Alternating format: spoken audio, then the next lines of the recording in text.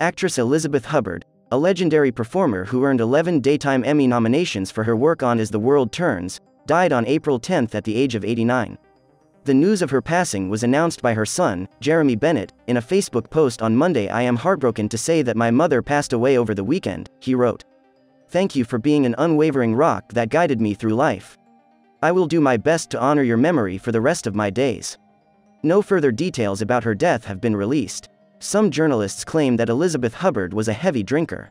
However, there has been no confirmation of this information.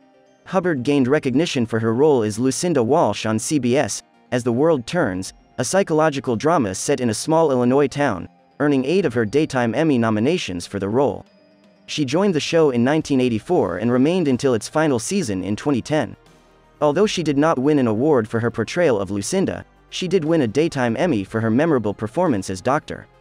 Althea Davis on the NBC daytime soap opera The Doctors, on which she appeared sporadically from 1964 to 1982. Throughout her long and illustrious career, Hubbard celebrated her most recent nomination in 2016 for her portrayal of Eva Montgomery on the show Anacostia.